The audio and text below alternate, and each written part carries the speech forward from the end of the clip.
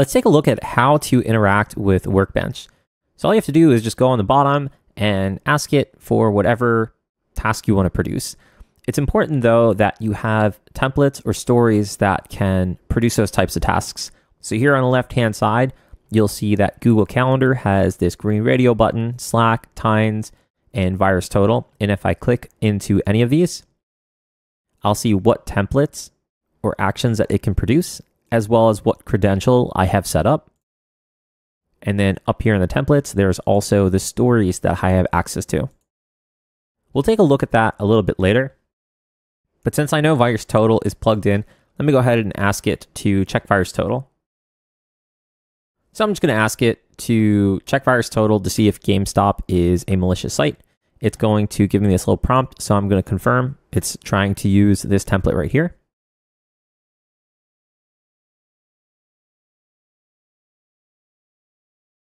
And it looks like it is a harmless website. So I'm going to go ahead and create a case with this information, create a case based on this investigation we started around GameStop. All right, so here it's going to go ahead and create a case. I'm to go ahead and confirm. So it's formatting the data based on our chat, and then it's trying to execute the task that I'm requesting. Here it's even given me a link so I can go and check it out and assign the case to me. I can click on this output if I want to see what's going on.